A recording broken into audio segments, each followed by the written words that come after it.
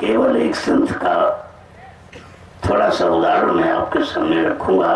सर्वप्रथम कबीर साहब संत रूप में धरती पर आए इसके पहले संत नाम से कोई नहीं आया।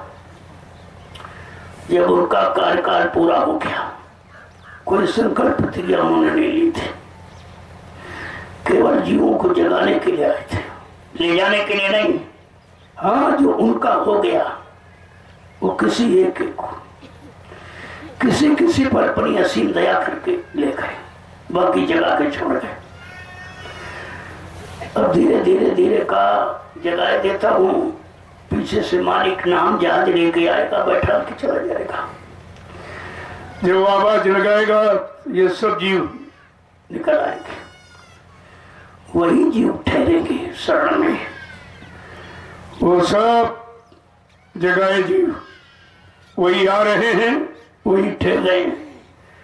कहा, वो सब शरण में आएँगे, ठहरेंगे।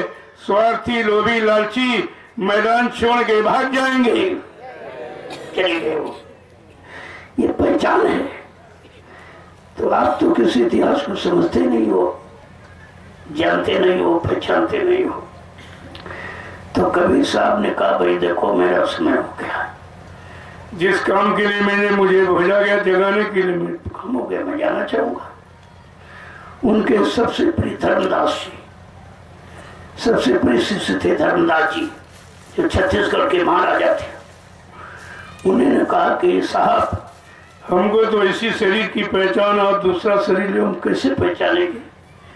कहा, भाई, मेरी पहचान लिख लो। कबीर साहब बोलते गए, धर्मदास जी लिखते थे कि हंसा घबराइयो मत, हम फिर आवेंगे।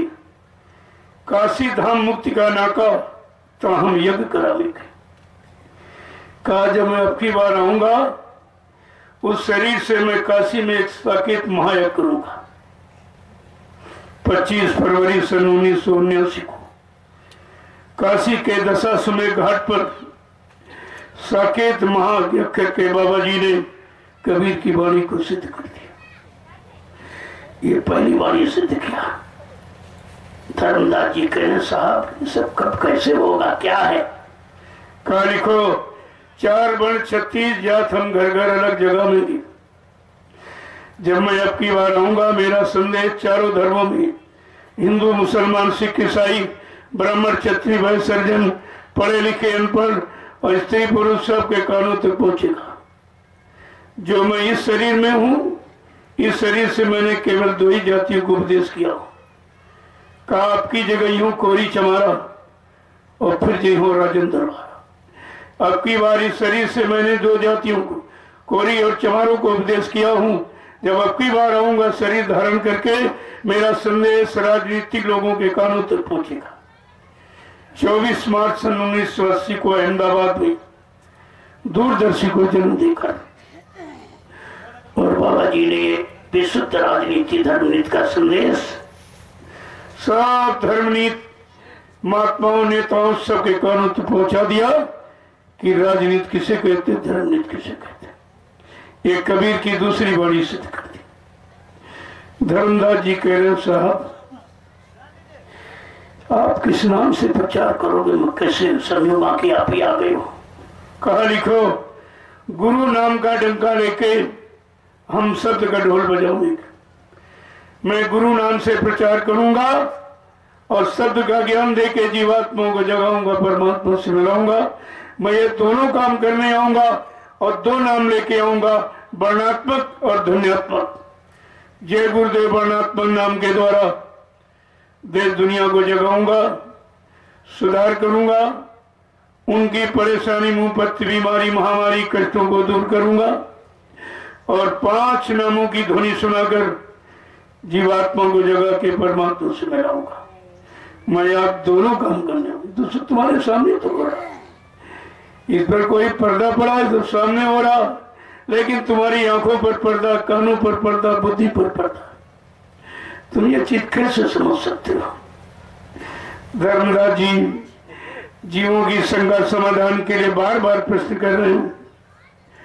कि साहब, ये प्रचार आप कब शुरू कराएँगे? कहा लिखो, कोटिन जीव को त्रास देख हम डूबत हंस बचाएँगे।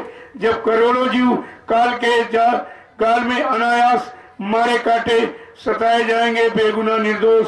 और यह धरती जब खून से रंगने लगेगी तो मैं शाकाहार का प्रचार कराकर हिंदुस्तान में एक विराम लगा दूँगा। वो भी आपके सामने हो रहा। लेकिन आप समझ कहाँ पा रहे तुम्हारे सामने हो रहा नहीं, समझ पा रहे पीठ पीछे की बात तो छोड़ दो, सामने हो रहा धर्मदास जी कह रहे साहब, एक शंका हो रह गई है। उसका भी निवारण कर दीजिए। क्या? क्या उस समय के जीव तुमको अपना समृद्ध सदगुरु, सच्चा मालिक मान लेंगे? कबीर साहब कहते, नहीं धर्मदास आज सुने ही वही हमें पहचानेंगे।